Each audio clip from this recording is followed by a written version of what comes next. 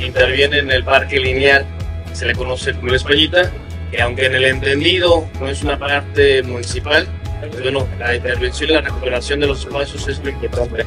Desde la época del presidente Cedillo Ponce de León, que fue el que inauguró este río, jamás habíamos tenido la asistencia de una autoridad. Agradecemos su presencia y también agradecemos que nos escuche y atienda nuestras gestiones. También creemos y sabemos que nos escuchará y nos apoyará como siempre lo ha hecho. Señor presidente, bienvenido.